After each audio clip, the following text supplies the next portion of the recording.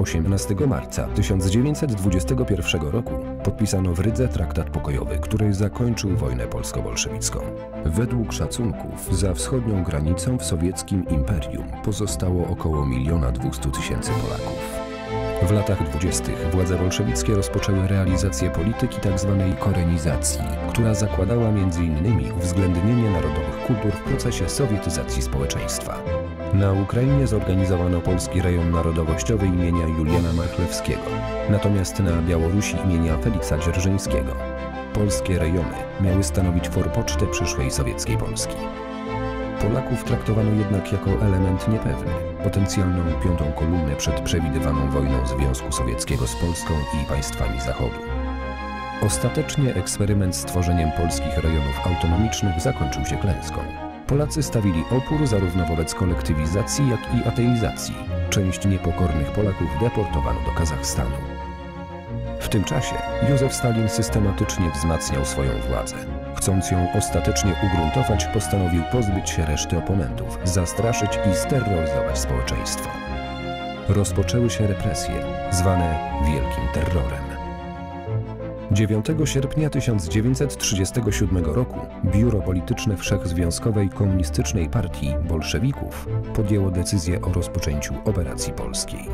U podstaw działań stało założenie, iż każdy Polak może być uczestnikiem spisku Polskiej Organizacji Wojskowej, który miał przywrócić Polskę do granic 1772 roku.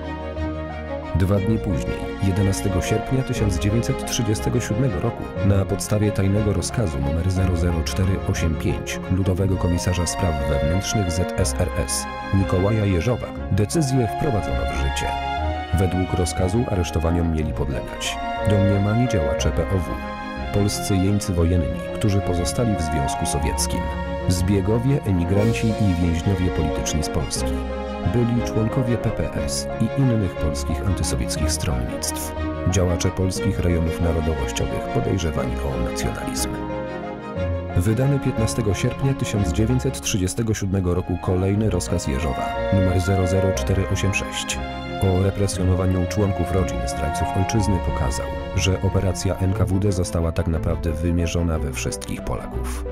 Pod zarzutem m.in. szpiegostwa na rzecz Polski, oprócz Polaków represjonowano również Rosjan, Ukraińców, Białorusinów, Żydów i przedstawicieli innych narodów zamieszkujących ZSRS. Zaplanowana na trzy miesiące. Operacja polska. Przedłużyła się do 14 miesięcy i 26 listopada 1938 roku. Ostatecznie zakończył ją rozkaz NKWD nr 00762. Operacja polska nie była jedyną operacją narodowościową, jednak była z nich największa i najbardziej krwawa.